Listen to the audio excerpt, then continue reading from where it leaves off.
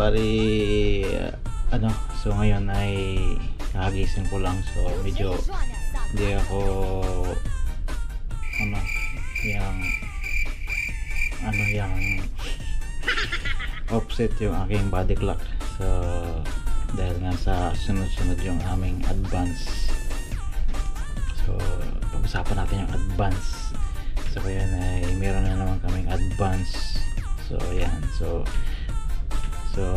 ang barko namin ay crossing from different time zones. So yun. So minutes na lang. So ipapakita ko sa inyo kung paano mag-advance ang barko na dito sa barko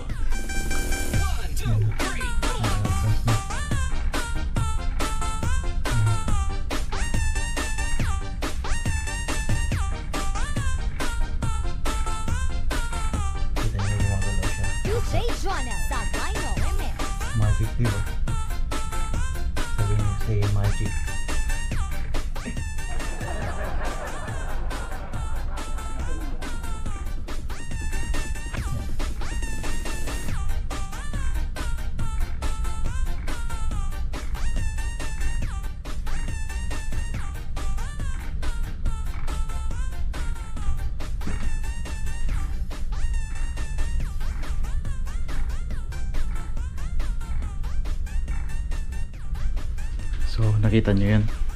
So yun yung ano, yung tinatawag nating advance. Kapag ah, retired naman, babalik naman yung yung oras. So magduduble. So ngayon, kanina mula 10 o'clock umikot yung sa buong ano ng isang oras. Kaya ngayon, ang oras natin ay 11pm na. So ayun, isang oras na lang. Duty na naman tayo.